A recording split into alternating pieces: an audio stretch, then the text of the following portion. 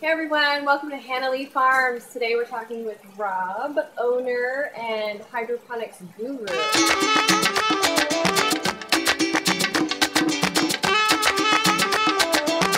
Hi Rob. Hi, thanks for having us. Thanks for taking us in and showing us your cool farm. So what exactly is hydroponics? Well, hydroponics, as you know or may know, is soilless agriculture. Whether you're using a media or uh, deep water culture, it's any plants grown with nutrient-rich water without the use of soil. Okay, and how do you get the nutrients? Well, and then you add in aquaculture, which is raising fish. And in our case, we're using a combination of aquaculture and hydroponics, and it's been dubbed aquaponics, where we use the fish waste to feed the plants, and the plants are the um, uptake the nutrients from the fish waste, which filters the water to go back to the fish. In agriculture, hydroponics is known as the fastest, highest production in the smallest amount of space. And so we were leaning towards hydroponics. And in an effort to be as organic as possible, we discovered aquaponics, which is really the closest to an organic hydroponics as, as you're going to find. You know, aquaculture traditionally lets go of 20 to 40% of their water volume in a day. It's a lot of waste, water waste.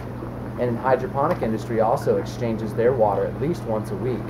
So by combining the two together, you wind up with a zero waste, uh, total symbiotic relationship. You wind up with good, organic, clean food. Been very well received at the market.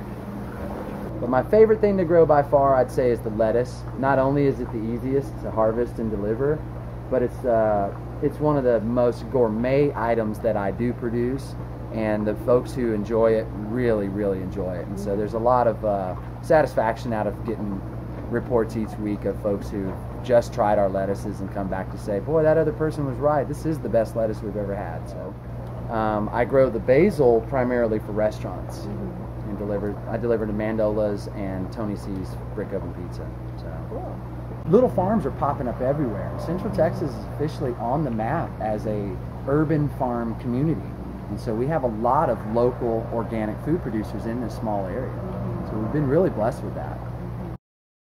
Where can we find out more about you and get more information if we want to take a class from you or if we want to just know more about it? Sure. We, um, we're on Craigslist and a couple other places, but you can find us at austinaquaponics.com and uh, follow us at our meetup group and you can get more details there or RSVP to our next class. Awesome. Thanks for joining us today. Glad to have you. Thanks for coming out. Thanks.